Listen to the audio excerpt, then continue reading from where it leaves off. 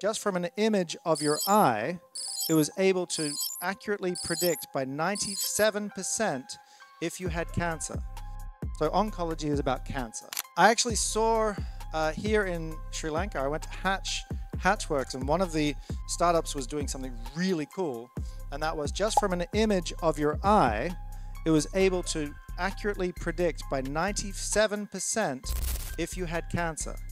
Not eye cancer, but lung cancer, breast cancer, colon cancer, other cancers, because they found that out of all the images of the eyes that they took, that there was a correlation between certain vessels, for certain blood vessels, certain aspects of the eye that correlated with cancer.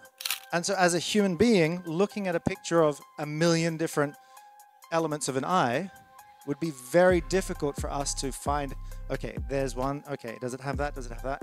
But when you've given AI, generative AI, 100 million pictures of people's eyes and correlated it with data of who had cancer, then all of a sudden you can do that with 97% accuracy.